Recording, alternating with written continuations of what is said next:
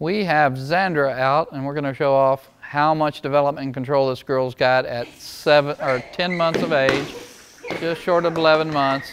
A lot of control put into this girl. Very intense, very powerful dog with a great mind, okay? This is a repeat breeding of the P, which was very, very successful, the W, very, very successful, and the Z's are no exception to the rule. Obedience, house manners, sweet nature, great with children, super obedience even though the bad guy's doing his best to make sure she gets distracted. She's staying on point, staying focused, beautiful, beautiful heads up heeling. instantly on the attack as soon as she's given the A-OK. Once again, this dog knows how to control her emotions. She's happy, she's fun, she's confident, she's obedient nothing less than what we could expect from a Pepsi puppy.